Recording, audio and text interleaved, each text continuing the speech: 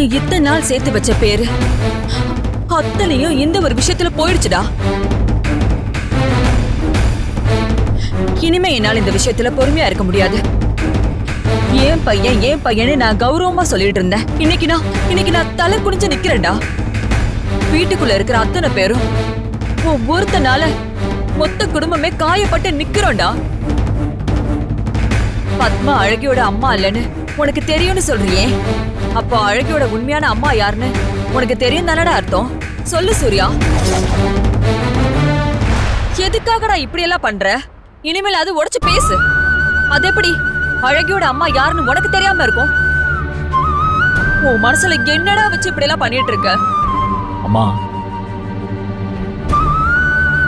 எனக்கு கொஞ்சம் டைம் கொடுங்கம்மா. முடியாது சூர்யா.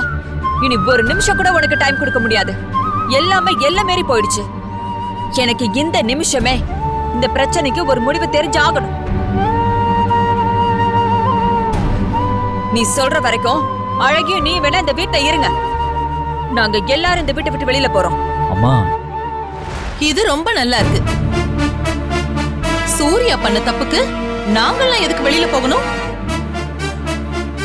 உங்க பையன் பண்ண தப்புக்கு நீங்க வேணா போங்க.